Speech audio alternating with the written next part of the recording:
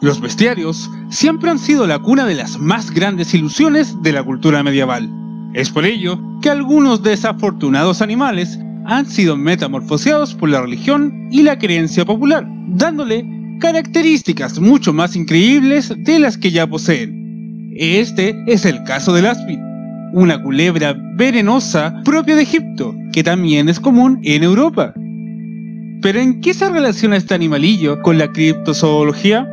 Descúbrelo acá, en este vídeo que llamaremos El áspid, una alternativa al basilisco.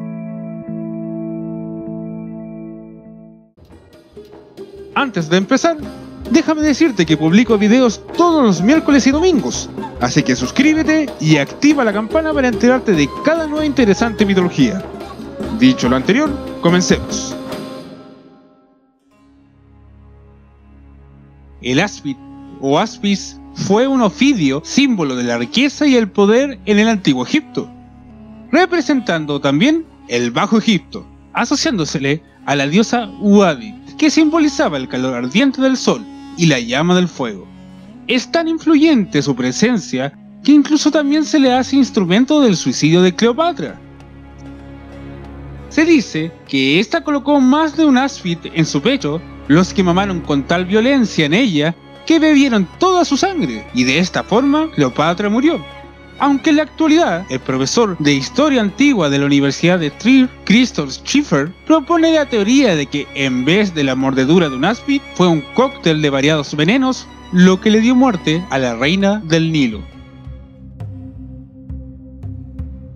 El origen mitológico de esta serpiente lo podemos encontrar en el mundo clásico, específicamente en el libro noveno del poema épico llamado Farsalia de Luciano, donde aparece el catálogo de las serpientes, un listado de serpientes que nacieron cuando la sangre de la cabeza decapitada de Medusa cayó en Libia tras el paso de Perseo.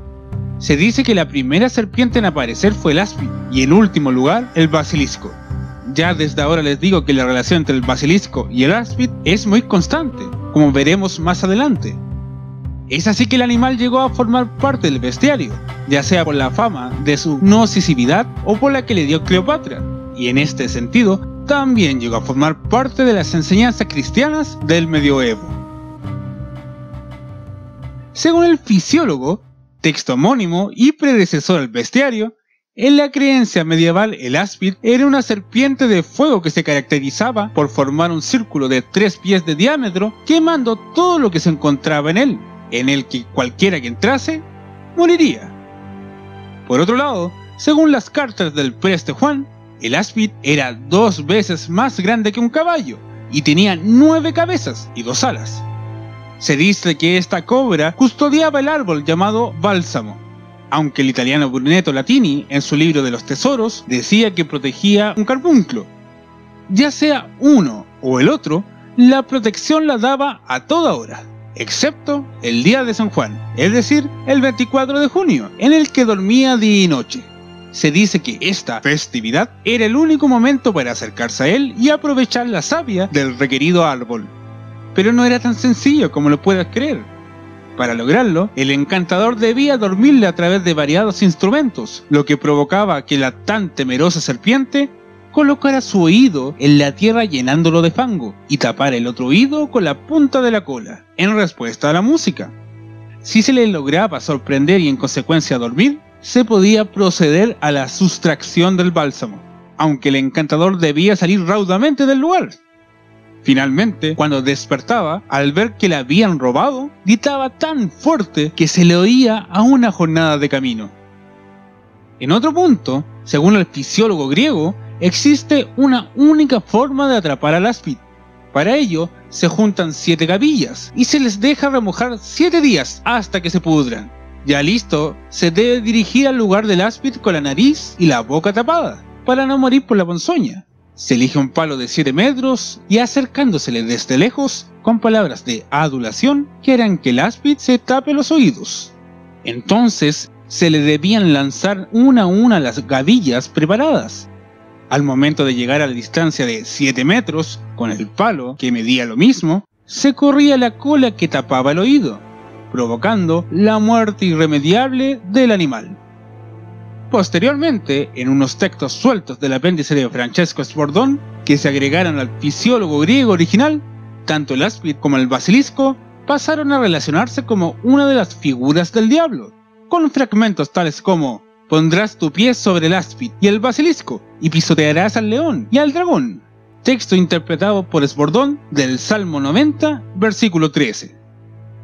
Es a partir del siglo XIII que la figura del áspid se volvió partícipe de la del basilisco, a través de que Bartolomeus Anglicus corrige las afirmaciones de Beda el Venerable. Ahora ya no nacía de los huevos amarillentos del gallo, sino de los huevos del áspid que son robados por la rana, la que muere al nacer el basilisco. Propiedad que según Plinio fue abarcada en Isaías en el capítulo 41 de su libro diciendo, quien come los huevos del áspis morirá. Una historia fantástica, ¿no? Pero sería erróneo decir que es solo un cuento antiguo, porque en la actualidad el áspid mitológico ha llegado a Latinoamérica a través de la colonización. Según el religioso franciscano español Bernardino de Sahagún, en su Historia de las Cosas Nuevas de Nueva España, escrita entre 1540 y 1585, los nativos mexicanos creían que existían ciertas sierpes que también fueron asociadas al áspid, aunque no tan fantásticas como la anterior, el Tecutla-Cozauqui, Iztacoal y Tleoa, serpientes que mantienen ciertos rasgos a ojos españoles. Esto debido a que se atribuye erróneamente y constantemente el nombre de áspid a otras especies de víboras, incluso a cualquier clase de serpiente venenosa. Es así como toda la significancia del bestiario llega como enseñanza en la Biblia, en versículos tales como Salmo capítulo 58, versículo 4 al 5. Veneno tienen como veneno de serpiente, son como el áspid sordo que cierra su oído y no oye la voz de los que encantan, por más hábil que el encantador sea. Hasta acá, la investigación sobre el áspid. Ojalá hayan gustado del vídeo y si quieren conocer más interesantes mitologías, pueden ver estos dos vídeos que están pensados para ti. Y si quieres suscribirte, da clic en el icono del canal. Muchas gracias por verme y me despido. Esto fue Logomaquia.